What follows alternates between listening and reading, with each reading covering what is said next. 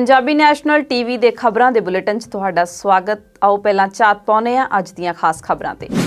ਸੂਬਾ ਸਰਕਾਰ ਤੇ ਤਪੇ ਡਾਕਟਰਾਂ ਨੇ ਕੀਤੀ ਹੜਤਾਲ ਐਨਪੀਏ ਘਟਾਉਣ ਨੂੰ ਮੁਲਾਜ਼ਮ ਮਾਰ ਦੱਸਿਆ। ਸ਼੍ਰੋਮਣੀ ਅਕਾਲੀ ਦਲ ਨੇ ਕੋਟਕਪੂਰਾ ਗੋਲੀकांड ਮਾਮਲੇ ਦੀ ਜਾਂਚ ਕਰ ਰਹੀ ਸਿੱਟ ਖਿਲਾਫ ਕਾਰਵਾਈ ਕਰਨ ਦੀ ਕੀਤੀ ਮੰਗ।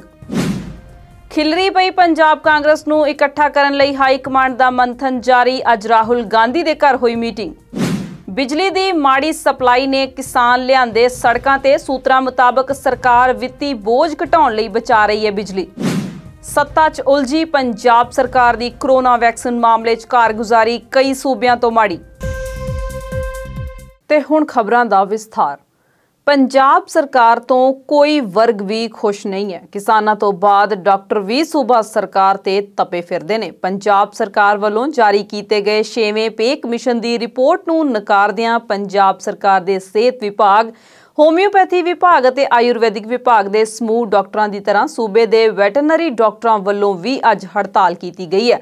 ਤਨਖਾਹ ਕਮਿਸ਼ਨ ਦੇ ਵਿਰੋਧ ਵਿੱਚ ਜ਼ਿਲ੍ਹਾ ਹੈੱਡਕੁਆਟਰਾਂ ਤੇ ਰੋਸ ਮੁਜ਼ਾਹਰੇ ਕੀਤੇ ਗਏ ਪੰਜਾਬ ਸਟੇਟ ਵੈਟਰਨਰੀ ਅਫਸਰ ਐਸੋਸੀਏਸ਼ਨ ਦੇ ਸੂਬਾਈ ਆਗੂ ਡਾਕਟਰ ਦਰਸ਼ਨ ਸਿੰਘ ਖੇੜੀ ਦਾ ਆਖਣਾ ਹੈ ਕਿ ਪੰਜਾਬ ਸਰਕਾਰ ਵੱਲੋਂ ਡਾਕਟਰਾਂ ਦਾ ਐਨਪੀਏ ਘਟਾ ਕੇ ਉਹਨਾਂ ਨਾਲ ਮੁਲਾਜ਼ਮ ਮਾਰ ਕੀਤੀ ਗਈ ਹੈ। ਦੱਸ ਦਈਏ ਕਿ ਡਾਕਟਰਾਂ ਵੱਲੋਂ ਐਮਰਜੈਂਸੀ ਸੇਵਾਵਾਂ ਅਤੇ ਕੋਵਿਡ ਡਿਊਟੀਆਂ ਨੂੰ ਛੱਡ ਕੇ ਬਾਕੀ ਸਭ ਡਿਊਟੀਆਂ ਦਾ ਮੁਕੰਮਲ ਤੌਰ ਤੇ ਬਾਈਕਾਟ ਕੀਤਾ ਗਿਆ।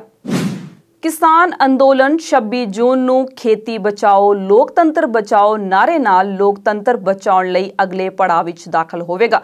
ਇਸ ਦਿਨ ਅੰਦੋਲਨ ਚੱਲਦਿਆਂ ਨੂੰ 7 ਮਹੀਨੇ ਪੂਰੇ ਹੋ ਜਾਣਗੇ। ਇਤਫਾਕ ਨਾਲ ਇਸੇ ਦਿਨ 1975 ਦੀ 26 ਜੂਨ ਨੂੰ ਹੀ ਕਾਂਗਰਸ ਸਰਕਾਰ ਨੇ ਐਮਰਜੈਂਸੀ ਦਾ ਐਲਾਨ ਕੀਤਾ ਸੀ। 26 ਜੂਨ ਨੂੰ ਮਜ਼ਦੂਰਾਂ, ਮਹਿਲਾਵਾਂ, ਵਿਦਿਆਰਥੀਆਂ, ਦਲਿਤਾਂ ਤੇ ਘੱਟ ਗਿਣਤੀਆਂ ਦੀਆਂ ਜਥੇਬੰਦੀਆਂ ਨੂੰ ਨਾਲ ਲੈ ਕੇ ਗਵਰਨਰਾਂ ਰਾਹੀਂ ਰਾਸ਼ਟਰਪਤੀ ਨੂੰ ਮੈਮੋਰੈਂਡਮ ਦਿੱਤੇ ਜਾਣਗੇ। ਇਸ ਦਾ ਐਲਾਨ ਸੰਯੁਕਤ ਕਿਸਾਨ ਮੋਰਚਾ ਤੇ ਹੋਰਨਾਂ ਕਿਸਾਨ ਜਥੇਬੰਦੀਆਂ ਦੇ ਆਗੂਆਂ ਨੇ ਕੀਤਾ ਹੈ।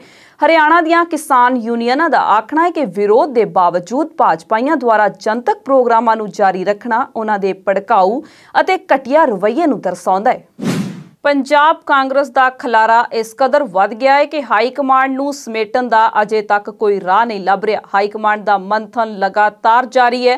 ਅੱਜ ਰਾਹੁਲ ਗਾਂਧੀ ਦੇ ਘਰ ਪੰਜਾਬ ਕਾਂਗਰਸ ਦੇ ਮੰਤਰੀਆਂ ਅਤੇ ਵਿਧਾਇਕਾਂ ਦੀ ਮੀਟਿੰਗ ਹੋਈ ਹੈ। ਖਬਰ ਪੜੇ ਜਾਣ ਤੱਕ ਮੀਟਿੰਗ ਵਿਚਲਾ ਕੋਈ ਤੱਤ ਨਿਕਲ ਕੇ ਬਾਹਰ ਨਹੀਂ ਸੀ ਆਇਆ।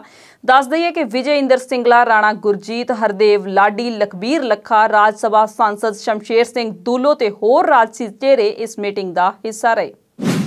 ਸ਼੍ਰੋਮਣੀ ਅਕਾਲੀ ਦਲ ਨੇ ਕੋਟਕਪੂਰਾ ਗੋਲੀकांड ਮਾਮਲੇ ਦੀ ਜਾਂਚ ਕਰ ਰਹੀ ਸਿੱਟ ਤੇ ਕਈ ਸਵਾਲ ਚੁੱਕੇ ਨੇ। ਅਕਾਲੀ ਦਲ ਨੇ ਬੀਤੇ ਦਿਨ 22 ਜੂਨ ਨੂੰ ਸਾਬਕਾ ਮੁੱਖ ਮੰਤਰੀ ਪ੍ਰਕਾਸ਼ ਸਿੰਘ ਬਾਦਲ ਤੋਂ ਪੁੱਛਗਿੱਛ ਕਰਨ ਆਈ ਤਿੰਨ ਮੈਂਬਰੀ ਸਿੱਟ ਨਾਲ ਵਿਜੇ ਸਾਂਪਲਾ ਦੇ ਆਉਣ ਨੂੰ ਲੈ ਕੇ ਸਿੱਟ ਖਿਲਾਫ ਕਾਰਵਾਈ ਦੀ ਮੰਗ ਕੀਤੀ ਹੈ। ਅਕਾਲੀ ਦਲ ਦਾ ਆਖਣਾ ਹੈ ਕਿ ਸਿੱਟ ਵੱਲੋਂ ਗੈਰ ਕਾਨੂੰਨੀ ਤਰੀਕੇ ਨਾਲ ਚੌਥੇ ਮੈਂਬਰ ਦੀ ਸ਼ਮੂਲੀਅਤ ਕਰਨ ਵਿਰੁੱਧ Akali Dal F I R ਦਰਜ ਕਰੇਗਾ। ਪੰਜਾਬ ਦੀਆਂ 2022 ਦੀਆਂ ਵਿਧਾਨ ਸਭਾ ਚੋਣਾਂ ਨੇ ਪੰਜਾਬ ਦੇ ਸਾਰੇ ਸੁੱਤੇ ਨਾਗ ਜਗਾ ਦਿੱਤੇ ਨੇ। ਸੂਬੇ ਦੀ ਰਾਜਨੀਤੀ 'ਚ ਨਿਤ ਨਵਾਂ ਰੰਗ ਦੇਖਣ ਨੂੰ ਮਿਲ ਰਿਹਾ ਹੈ। ਹੁਣ ਵਿਰੋਧੀ ਧਿਰ ਦੇ ਸਾਬਕਾ ਆਗੂ ਅਤੇ ਭੁਲੱਤ ਤੋਂ ਵਿਧਾਇਕ ਸੁਖਪਾਲ ਸਿੰਘ ਖਹਿਰਾ ਨੇ ਈਡੀ ਤੇ ਯਾਨੀ ਕਿ ਐਨਫੋਰਸਮੈਂਟ ਡਾਇਰੈਕਟੋਰੇਟ ਉੱਤੇ ਦੋਸ਼ ਲਗਾਇਆ ਹੈ ਕਿ ਈਡੀ ਨੇ ਫੈਸ਼ਨ ਡਿਜ਼ਾਈਨਰਾਂ ਨੂੰ ਉਹਨਾਂ ਵੱਲੋਂ ਕੀਤੇ ਗਏ ਭੁਗਤਾਨ ਦੀ ਜਾਣਕਾਰੀ ਮੀਡੀਆ ਨੂੰ ਦੇ ਕੇ ਉਹਨਾਂ ਦਾ ਅਕਸ ਵਿਗਾੜਨ ਦੀ ਕੋਸ਼ਿਸ਼ ਕੀਤੀ ਹੈ। ਖਹਿਰਾ ਨੇ ਆਪਣੀ ਸਫ਼ਾਈ 'ਚ ਆਖਿਆ ਕਿ 2015-16 ਵਿੱਚ ਦਿੱਤੀ ਗਈ ਇਹ ਰਕਮ ਉਹਨਾਂ ਦੀ ਬੇਟੀ ਦੇ ਵਿਆਹ ਸਮੇਂ ਕੀਤੀ ਗਈ ਖਰੀਦਦਾਰੀ ਦਾ ਹਿੱਸਾ ਸੀ।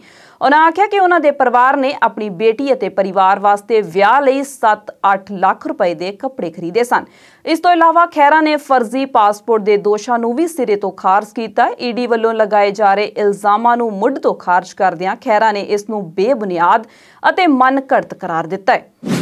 ਝੋਨੇ ਦੀ ਲਵਾਈ ਦਾ ਕੰਮ ਜ਼ੋਰਾਂ ਸ਼ੋਰਾਂ ਤੇ ਹੈ ਤੇ ਬਿਜਲੀ ਦੀ ਮਾੜੀ ਸਪਲਾਈ ਤੋਂ ਖਿਜੇ ਕਿਸਾਨ ਸੜਕਾਂ ਤੇ ਉਤਰਨ ਲਈ ਮਜਬੂਰ ਨੇ। ਕੈਪਟਨ ਸਰਕਾਰ ਵੱਲੋਂ ਖੇਤੀ ਸੈਕਟਰ ਲਈ 10 ਜੂਨ ਤੋਂ ਝੋਨੇ ਦੇ ਸੀਜ਼ਨ ਦੌਰਾਨ 8 ਘੰਟੇ ਬਿਜਲੀ ਸਪਲਾਈ ਦੇਣ ਦਾ ਵਾਅਦਾ ਕੀਤਾ ਗਿਆ ਸੀ। ਇਸ ਮੌਕੇ ਜਦੋਂ ਲੁਆਈ ਦਾ ਕੰਮ ਸਿਖਰ ਤੇ ਹੈ, ਤਾਂ ਪਾਵਰਕਾਮ ਨੇ ਖੇਤੀ ਲਈ ਬਿਜਲੀ ਸਪਲਾਈ ਤੇ ਘਟ ਲਾ ਦਿੱਤਾ ਹੈ।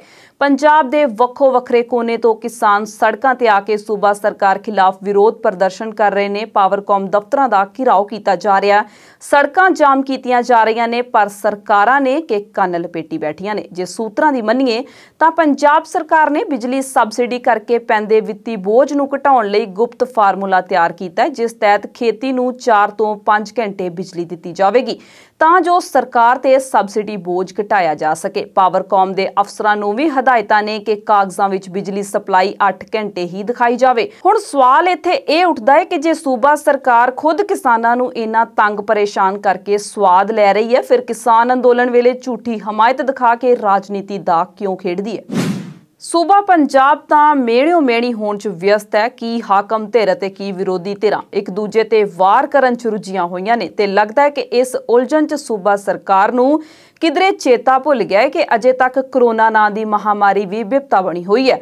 ਹੁਣ ਖਬਰ ਮਿਲੀ ਹੈ ਕਿ ਪੰਜਾਬ 18 ਸਾਲ ਤੋਂ ਵੱਧ ਉਮਰ ਦੇ ਲੋਕਾਂ ਲਈ ਮੁਫਤ ਕੋਵਿਡ-19 ਵੈਕਸੀਨ ਦੇ ਮਾਮਲੇ ਵਿੱਚ ਕਈ ਸੂਬਿਆਂ ਤੋਂ ਹੇਠਾਂ ਹੈ। ਪਰ ਇਸ ਦਾ ਭਾਂਡਾ ਵੀ ਕੈਪਟਨ ਦੀ ਅਗਵਾਈ ਵਾਲੀ ਸਰਕਾਰ ਨੇ ਪੱਖਪਾਤ ਦਾ ਇਲਜ਼ਾਮ ਲਗਾ ਕੇ ਕੇਂਦਰ ਉੱਤੇ ਹੀ ਭੰਨਿਆ ਹੈ। ਪੰਜਾਬ ਦੇ ਸਿਹਤ ਮੰਤਰੀ ਬਲਬੀਰ ਸਿੰਘ ਸਿੱਧੂ ਦਾ ਆਖਣਾ ਹੈ ਕਿ ਕੇਂਦਰ ਪੰਜਾਬ ਨੂੰ ਜ਼ਰੂਰਤ ਮੁਤਾਬਕ ਵੈਕਸੀਨ ਨਹੀਂ ਦੇ ਰਿਹਾ। ਦੂਜੇ ਪਾਸੇ ਭਾਜਪਾ ਦੀ ਸਰਕਾਰ ਵਾਲੇ ਸੂਬਿਆਂ ਹਰਿਆਣਾ, ਉੱਤਰ ਪ੍ਰਦੇਸ਼ ਅਤੇ ਮੱਧ ਪ੍ਰਦੇਸ਼ ਵਿੱਚ ਵੈਕਸੀਨ ਮੁਹਿੰਮ ਕਾਫੀ ਤੇਜ਼ ਹੈ। ਪਰ ਸਵਾਲ ਇੱਥੇ ਇਹ ਹੈ ਕਿ ਕੇਂਦਰ ਕੋਲੋਂ ਵੈਕਸੀਨ ਮੰਗਣ ਦੀ ਬਜਾਏ, ਕੇਂਦਰ ਤੇ ਜ਼ੋਰ ਪਾਉਣ ਦੀ ਬਜਾਏ, ਲੋਕਾਂ ਨੂੰ ਕਰੋਨਾ ਨਾਮੀ ਦੈਂਤ ਦੇ ਮੂੰਹ ਚੋਂ ਕੱਢਣ ਦੀ ਬਜਾਏ ਪੰਜਾਬ ਦੇ ਆਗੂ ਆਪਸ ਵਿੱਚ ਦੂਸ਼ਣਬਾਜ਼ੀਆਂ ਕਰਨ 'ਚ ਮਸਰੂਫ ਨੇ।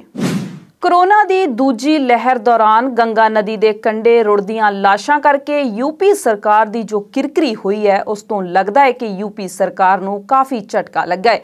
ਹੁਣ ਇਸ ਤੇ ਸਫਾਈਆਂ ਦਿੰਦਿਆਂ ਉੱਤਰ ਪ੍ਰਦੇਸ਼ ਦੇ ਮੁੱਖ ਮੰਤਰੀ ਯੋਗੀ ਅਦਿੱਤਿਆਨਾਥ ਨੇ ਆਖਿਆ ਕਿ ਕੁਝ ਲੋਕਾਂ ਨੇ ਯੂਪੀ ਵਿੱਚ ਕਰੋਨਾ ਦੀ ਦੂਜੀ ਲਹਿਰ ਦੌਰਾਨ ਗਲਤ ਜਾਣਕਾਰੀ ਫੈਲਾਈ ਹੈ। ਉਹਨਾਂ ਆਖਿਆ ਕਿ ਲੋਕਾਂ ਨੇ ਤਾਂ ਇਹ ਕਹਿਣਾ ਸ਼ੁਰੂ ਕਰ ਦਿੱਤਾ ਸੀ ਕਿ ਯੂਪੀ ਵਿੱਚ ਕੋਵਿਡ-19 ਕੰਟਰੋਲ ਤੋਂ ਬਾਹਰ ਹੋ ਗਿਆ ਜਦਕਿ ਯੂਪੀ ਨੇ ਕਈ ਮਾਹਿਰਾਂ ਦੀ ਭਵਿੱਖਬਾਣੀਆਂ ਤੋਂ ਪਰੇ ਚੰਗੇ ਤਰੀਕੇ ਨਾਲ ਸਥਿਤੀ ਨੂੰ ਸੰਭਾਲਿਆ ਹੈ। ਉਹਨਾਂ ਮੁਤਾਬਕ ਯੂਪੀ ਵਿੱਚ ਟੈਸਟ ਵੱਡੀ ਗਿਣਤੀ ਵਿੱਚ ਹੋਏ ਨੇ ਅਤੇ ਮੌਤ ਦਰ ਕਈ ਸੂਬਿਆਂ ਦੇ ਮੁਕਾਬਲੇ ਹੇਠਾਂ ਗਈ ਹੈ। ਅੱਗੇ ਬੋਲਦਿਆਂ ਯੋਗੀ ਨੇ ਆਖਿਆ ਕਿ ਯੂਪੀ ਵਿੱਚ ਸਭ ਤੋਂ ਵੱਧ ਗਿਣਤੀ 'ਚ ਟੈਸਟ ਹੋ ਰਹੇ ਨੇ ਅਤੇ ਬਹੁਤ ਜਲਦ 6 ਕਰੋੜ ਦਾ ਅੰਕੜਾ ਛੂ ਲਿਆ ਜਾਵੇਗਾ। ਯੋਗੀ ਦੀਆਂ ਇਹ ਗੱਲਾਂ ਉਹ ਦਾਗ ਸ਼ਾਇਦ ਕਦੇ ਨਾ ਧੋ ਸਕਣ। ਜੋ ਗੰਗਾ 'ਚ ਰੁੜਦੀਆਂ ਲਾਸ਼ਾਂ ਨੇ ਯੂਪੀ ਸਰਕਾਰ ਦੇ ਅਕਸ ਤੇ ਲਗਾ ਦਿੱਤੇ ਨੇ। 12ਵੀਂ ਦੀਆਂ ਪ੍ਰੀਖਿਆਵਾਂ ਰੱਦ ਕਰਨ ਤੋਂ ਬਾਅਦ ਸੁਪਰੀਮ ਕੋਰਟ ਨੇ ਸਾਰੇ ਸੂਬਾਈ ਸਿੱਖਿਆ ਬੋਰਡਾਂ ਨੂੰ 31 ਜੁਲਾਈ ਤੱਕ 12ਵੀਂ ਦਾ ਨਤੀਜਾ ਐਲਾਨਣ ਦੇ ਨਿਰਦੇਸ਼ ਦੇ ਦਿੱਤੇ ਨੇ। ਇਸ ਦੇ ਨਾਲ ਹੀ 10 ਦਿਨਾਂ ਵਿੱਚ ਸਕੂਲ ਵੱਲੋਂ ਕੀਤੀ ਜਾਣ ਵਾਲੀ ਸਮੀਖਿਆ ਸਕੀਮ, ਯਾਨੀ ਕਿ ਇੰਟਰਨਲ ਅਸੈਸਮੈਂਟ ਤਿਆਰ ਕਰਨ ਲਈ ਵੀ ਆਖ ਦਿੱਤਾ ਹੈ। ਅਦਾਲਤ ਦਾ ਆਖਣਾ ਹੈ ਕਿ ਰਾਜ ਅਤੇ ਉਸ ਦੇ ਬੋਰਡ ਆਪਣੀ ਨੀਤੀ ਬਣਾਉਣ ਲਈ ਸੁਤੰਤਰ ਅਤੇ ਖੁਦ ਮੁਖਤਿਆਰ ਹੋਣਗੇ। ਉਧਰ ਸੁਪਰੀਮ ਕੋਰਟ ਵੱਲੋਂ ਸਖਤ ਰੁਖ ਅਖਤਿਆਰ ਕਰਨ ਦੇ ਬਾਅਦ ਆਂਧਰਾ ਪ੍ਰਦੇਸ਼ ਨੇ ਵੀ 12ਵੀਂ ਦੀ ਪ੍ਰੀਖਿਆ ਰੱਦ ਕਰ ਦਿੱਤੀ ਹੈ। ਮੈਂ ਦਿੱਲੀ ਦੀ ਦੂਰੀ ਅਤੇ ਦਿਲ ਦੀ ਦੂਰੀ ਨੂੰ ਮਿਟਾਉਣਾ ਚਾਹਨਾ ਇਹ ਸ਼ਬਦ ਨੇ ਭਾਰਤ ਦੇ ਪ੍ਰਧਾਨ ਮੰਤਰੀ ਨਰਿੰਦਰ ਮੋਦੀ ਦੇ, ਜਿਹੜੇ ਉਹਨਾਂ ਨੇ ਬੀਤੇ ਦਿਨ ਜੰਮੂ ਕਸ਼ਮੀਰ ਬਾਰੇ ਹੋਈ ਸਰਬ ਪਾਰਟੀ ਮੀਟਿੰਗ 'ਚ ਆਖੇ।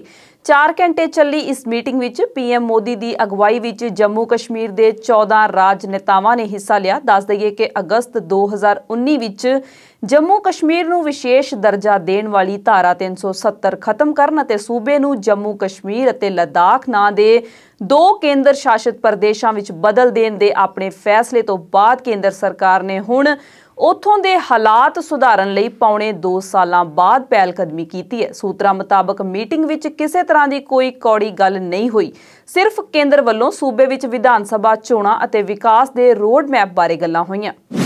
ਭਾਰਤ ਨੂੰ ਕਰੋਨਾ ਮਹਾਮਾਰੀ ਤੋਂ ਲਗਾਤਾਰ ਰਾਹਤ ਮਿਲਦੀ ਨਜ਼ਰ ਆ ਰਹੀ ਹੈ। ਕੇਂਦਰੀ ਸਿਹਤ ਵਿਭਾਗ ਦੇ ਤਾਜ਼ਾ ਅੰਕੜਿਆਂ ਦੇ ਅਨੁਸਾਰ ਬੀਤੇ 24 ਘੰਟਿਆਂ ਵਿੱਚ 51667 ਨਵੇਂ ਕਰੋਨਾ ਕੇਸ ਸਾਹਮਣੇ ਆਏ ਨੇ। ਜਿਸ ਨਾਲ ਮੁਲਕ ਵਿੱਚ ਕੋਰੋਨਾ ਪੀੜਤਾਂ ਦੀ ਕੁੱਲ ਗਿਣਤੀ 3 ਕਰੋੜ 134445 ਤੱਕ ਪਹੁੰਚ ਗਈ ਹੈ। ਇਸ ਮਹਾਮਾਰੀ ਕਾਰਨ ਇੱਕ ਦਿਨ ਵਿੱਚ 1329 ਜਾਨਾਂ ਜਾਣ ਨਾਲ ਮਰਨ ਵਾਲਿਆਂ ਦੀ ਗਿਣਤੀ 393310 ਤੱਕ ਅਪੜ ਗਈ ਹੈ। ਸਕੂਨ ਵਾਲੀ ਗੱਲ ਇਹ ਹੈ ਕਿ ਇਸ ਸਮੇਂ ਦੌਰਾਨ 64527 ਲੋਕਾਂ ਨੇ ਕਰੋਨਾ ਨੂੰ ਮਾਤ ਦਿੱਤੀ ਹੈ, ਜਿਸ ਨਾਲ ਸਿਹਤਯਾਬ ਹੋਣ ਵਾਲੇ ਵਿਅਕਤੀਆਂ ਦੀ ਸੰਖਿਆ ਵੱਧ ਕੇ 2 ਕਰੋੜ 91 ਲੱਖ 28267 ਹੋ ਗਈ ਹੈ। ਇਸ ਵੇਲੇ ਭਾਰਤ ਵਿੱਚ 6 ਲੱਖ 12868 ਐਕਟਿਵ ਕੇਸ ਨੇ। ਜੇ ਗੱਲ ਸੂਬੇ ਪੰਜਾਬ ਦੀ ਕਰੀਏ ਤਾਂ ਬੀਤੇ 24 ਘੰਟਿਆਂ ਵਿੱਚ 382 ਨਵੇਂ ਕਰੋਨਾ ਕੇਸ ਸਾਹਮਣੇ ਆਏ ਨੇ ਅਤੇ ਸੂਬੇ ਵਿੱਚ 20 ਲੋਕਾਂ ਦੀ ਕਰੋਨਾ ਮਹਾਮਾਰੀ ਕਰਕੇ ਮੌਤ ਹੋ ਜਾਣ ਦੀ ਵੀ ਖਬਰ ਹੈ। ਪਿਛਲੇ ਮਹੀਨੇ ਕੈਨੇਡਾ ਦੇ ਇੱਕ ਰਿਹਾਇਸ਼ੀ ਸਕੂਲ ਵਿੱਚੋਂ 215 ਬੱਚਿਆਂ ਦੇ ਪਿੰਜਰ ਮਿਲਣ ਤੋਂ ਬਾਅਦ ਹੁਣ ਫਿਰ ਆਦੀਵਾਸੀ ਬੱਚਿਆਂ ਲਈ ਬਣਾਏ ਇੱਕ ਪੁਰਾਣੇ ਰਿਹਾਇਸ਼ੀ ਸਕੂਲ। ਮੈਰੀਵਲ ਵਿੱਚੋਂ 751 ਅਣਪਛਾਤੀਆਂ ਖਬਰਾਂ ਮਿਲੀਆਂ ਨੇ। ਦੋਵੇਂ ਸਕੂਲ ਇੱਕ ਅਜਿਹੀ ਵਿਵਸਥਾ ਦਾ ਹਿੱਸਾ ਸਨ ਜੋ ਦੇਸ਼ ਦੇ ਮੂਲ ਵਾਸੀਆਂ ਦੇ ਬੱਚਿਆਂ ਨੂੰ ਉਹਨਾਂ ਦੇ ਪਰਿਵਾਰਾਂ ਚੋਂ ਬਲ ਦਾ ਪ੍ਰਯੋਗ ਕਰਕੇ ਲੈ ਜਾਂਦੇ ਸਨ ਅਤੇ ਉਹਨਾਂ ਨੂੰ ਉਕਤ ਰੈਜ਼ੀਡੈਂਸ਼ੀਅਲ ਸਕੂਲਾਂ ਦੇ ਵਿੱਚ ਰੱਖਦੇ ਸਨ। ਹੁਣ ਵੱਡੀ ਗਿਣਤੀ ਵਿੱਚ ਬੇਨਾਮੀ ਖਬਰਾਂ ਮਿਲਣ ਦੀਆਂ ਖਬਰਾਂ ਨਾਲ ਦੇਸ਼ ਭਰ ਵਿੱਚ ਇੱਕ ਵਾਰ ਫਿਰ ਮੂਲ ਵਾਸੀਆਂ ਦੀ ਨਸਲ ਖਤਮ ਕਰਨ ਵਾਲੇ ਇਹ ਇਤਿਹਾਸਕ ਕਾਲੇ ਵਰਤਾਰੇ ਨੂੰ ਸਰਕਾਰ ਵੱਲੋਂ ਨਸਲਕੁਸ਼ੀ ਵਜੋਂ ਮਾਨਤਾ ਦੇਣ ਦੀ ਮੰਗ ਜ਼ੋਰ ਫੜ ਰਹੀ ਹੈ। ਕੈਨੇਡਾ ਪ੍ਰਧਾਨ ਮੰਤਰੀ ਜਸਟਿਨ ਟਰੂਡੋ ਇਸ ਬਾਰੇ ਸੰਸਦ ਵਿੱਚ ਦੁੱਖ ਦਾ ਪ੍ਰਗਟਾਵਾ ਤਾਂ ਕਰ ਚੁੱਕੇ ਨੇ, ਪਰ ਨਸਲਕੁਸ਼ੀ ਮੰਨਣ ਬਾਰੇ ਉਹ ਚੁੱਪ ਨੇ। ਓਨਟਾਰੀਓ ਅਤੇ ਅਲਬਰਟਾ ਦੀਆਂ ਸਰਕਾਰਾਂ ਨੇ ਇਸ ਕਾਰਜ ਵਾਸਤੇ ਆਦੀਵਾਸੀ ਭਾਈਚਾਰਿਆਂ ਨੂੰ ਕਰਮਵਾਰ 80 ਲੱਖ ਅਤੇ 1 ਕਰੋੜ ਡਾਲਰਾਂ ਦੀਆਂ ਗ੍ਰਾਂਟਾਂ ਵੀ ਜਾਰੀ ਕੀਤੀਆਂ ਨੇ ਤਾਂ ਕਿ ਰੈਜ਼ੀਡੈਂਸ਼ੀਅਲ ਸਕੂਲਾਂ 'ਚ ਵਾਪਰੀਆਂ ਘਟਨਾਵਾਂ ਦਾ ਸੱਚ ਸਾਹਮਣੇ ਲਿਆਂਦਾ ਜਾ ਸਕੇ। ਇਸ ਦੇ ਨਾਲ ਹੀ ਖਬਰਾਂ ਦਾ ਬੁਲੇਟਿਨ ਖਤਮ ਹੁੰਦਾ ਹੈ। ਮੈਨੂੰ ਸਵਲੀਨ ਕੌਰ ਜਸਰ ਨੂੰ ਦਿਓ ਆਗਿਆ। ਧੰਨਵਾਦ।